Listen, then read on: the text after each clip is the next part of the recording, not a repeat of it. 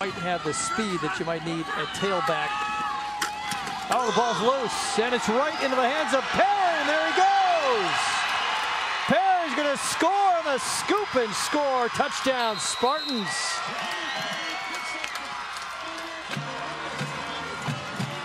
Well, an exchange problem for Oswego, and the ball bounced right into the hands of Perry, who slipped through one tackle, and he was off.